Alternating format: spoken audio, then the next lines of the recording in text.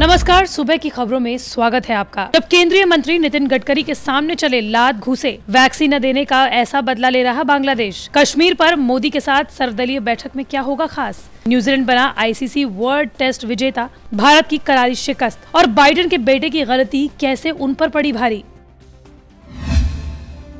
हिमाचल प्रदेश में केंद्रीय सड़क एवं परिवहन मंत्री नितिन गडकरी के सामने मुख्यमंत्री जयराम ठाकुर के पर्सनल सिक्योरिटी ऑफिसर, यानी कि पीएसओ और कुल्लू एसपी के बीच जमकर बवाल हुआ। इस दौरान दोनों अफसरों के बीच लाद घूसे तक चले, वो भी केंद्रीय मंत्री नितिन गडकरी के सामने। बताया जा रहा है कि जब गडकरी और मुख्यमंत्री का काफिला मनाली की ओर निकला तो भूंतर एयरपोर्ट के बाहर फोर लेन प्रभावित किसानों ने उन्हें रोक दिया। इसी बात को लेकर सीएम के सिक्योरिटी ऑफिसर्स और कुल्लू एसपी के बीच झड़प हो गई। एसपी गौरव सिंह ने पीएसओ बलवंत सिंह को पहले थप्पड़ मारा, इसके बाद बलवंत सिंह ने भी एसपी को लात से दो तीन बार मारा। केंद्रीय मंत्री नितिन गडकरी के स्वागत के लिए मुख्यमंत्री जयराम ठाकुर भुंतर हवाई अड्डे पहुँचे थे। जैसे ही केंद्रीय मंत्री का काफिला एयरपोर्ट के बाहर निकलने लगा तो सड़क के किनारे फोर लेन प्रभावित किसानों ने उनके काफिले को घेर लिया। लोगों को देख नितिन गडकरी ने अपनी गाड़ी को रोका और खुद उतरकर उनसे मिलने पहुँच गए। वहीं मुख्यमंत्री जयराम ठाकुर भी अपने वाहन से उतरकर उन सभी लोगों से मिलने पहुँचे। प्रभावित लोगों ने आरोप लगाया कि राज्य सरकार उनकी मांगे नहीं सुन रही, उन्हें काफ़ी नुकसान उठाना पड़ रहा है। इस पर गडकरी ने सीएम को जल्द से जल्द उनकी मांगों पर गौर करने के निर्देश दिए। बांग्लादेश की नदियों में हिलसा मछली पाई जाती है, जिसे भारत में बहुत पसंद किया जाता है। बांग्लादेश से ही हिलसा मछलियों का आयात किया जाता है, लेकिन पिछले कुछ वक्त से बांग्लादेश ने हिलसा के निर्यात को कम कर दिया है। माना जा रहा है कि ऐसा इसलिए क्योंकि भारत की ओर से कोरोना वैक्सीन के निर्यात पर रोक लगा दी गई। भारत सरकार ने कोरोना वैक्सीन के निर्यात पर रोक लगा दी, ऐसे में कयास लगाए जा रहे हैं कि इसी वजह से नाराज़ होकर बांग्लादेश सरकार ने भी हिलसा मछली के निर्यात को सीमित कर दिया। विदेश मंत्रालय के मुताबिक भारत ने बांग्लादेश को एक करोड़ से ज़्यादा वैक्सीन भेजी थी, लेकिन देश में दूसरी लहर के दौरान वैक्सीन की कमी होने की वजह से भारत ने वैक्सीन के निर्यात पर अभी रोक लगा दी। इससे नाराज़ होकर बांग्लादेश सरकार ने भारतीयों की पसंदीदा हिलसा मछली के निर्यात को ही सीमित कर दिया। हालाँकि पिछले काफ़ी लंबे वक्त से ही बांग्लादेश ने हिलसा के निर्यात पर रोक लगा रखी थी, लेकिन पिछले साल जमाई षष्ठी के मौके पर बांग्लादेश की शेख हसीना सरकार ने दो टन हिलसा मछली को निर्यात करने की स्पेशल परमिशन दी। हिलसा मछली बांग्लादेश में पदमा नदी में पाई जाती है। प्रधानमंत्री नरेंद्र मोदी 24 जून, यानी कि आज, कश्मीर के नेताओं से मुलाकात करने वाले हैं। इसमें कश्मीर के भविष्य पर चर्चा होनी है। नान नुकुर के बाद कश्मीर के राजनयिक दलों के संगठन People's Alliance for Gupkar Declaration ने प्रधानमंत्री से मुलाकात को लेकर नरम रुख दिखाया है। पाँच अगस्त दो हज़ार उन्नीस को केंद्र ने जम्मू कश्मीर के स्पेशल स्टेटस को खत्म कर राज्य को दो केंद्र शासित प्रदेशों, जम्मू कश्मीर और लद्दाख में बांट दिया था। इसके बाद से ही राजनीतिक हालात अस्थिर हो गए थे। ज़्यादातर बड़े नेता नजरबंद थे।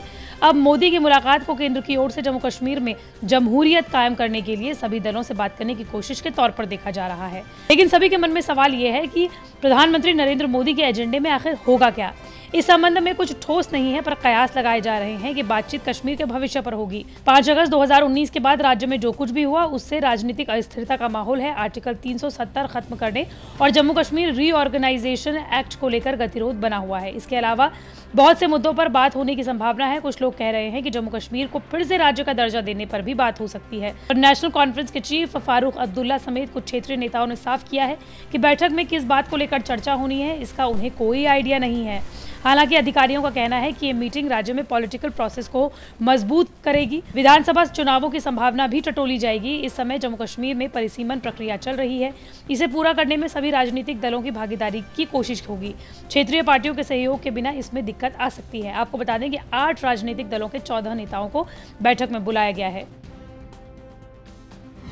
New Zealand team ICC World Test champion बन गई। इसने साउथहैम्पटन में खेले गए फाइनल में टीम इंडिया को आठ विकेट से शिकस्त दी। इक्यानवे साल के इतिहास में न्यूजीलैंड टीम ने पहली बार कोई आईसीसी वर्ल्ड कप जीता है। कीवी टीम ने 10 जनवरी 1930 को अपना पहला मैच इंग्लैंड के खिलाफ खेला था।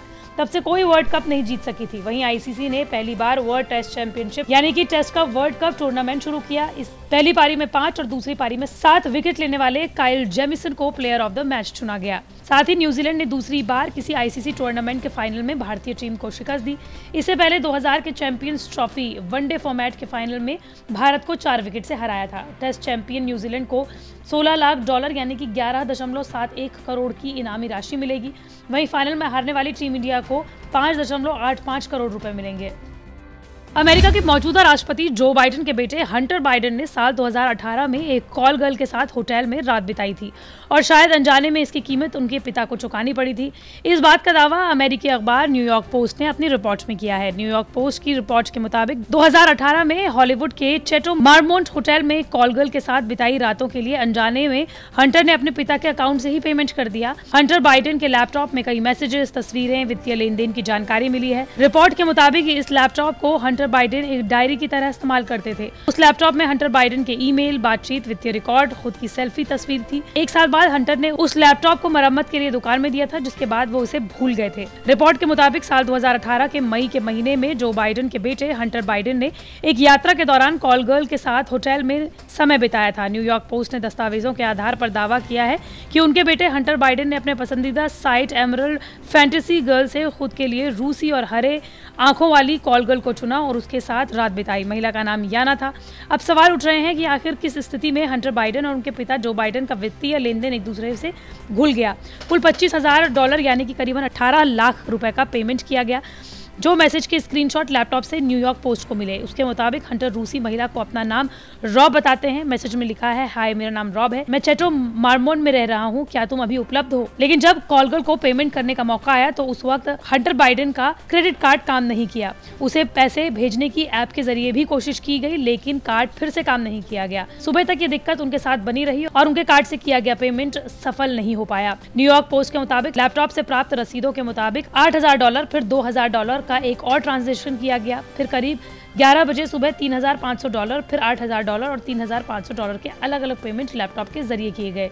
कुल मिलाकर 25,000 डॉलर एक घंटे से भी कम समय में ट्रांसफ़र किए गए।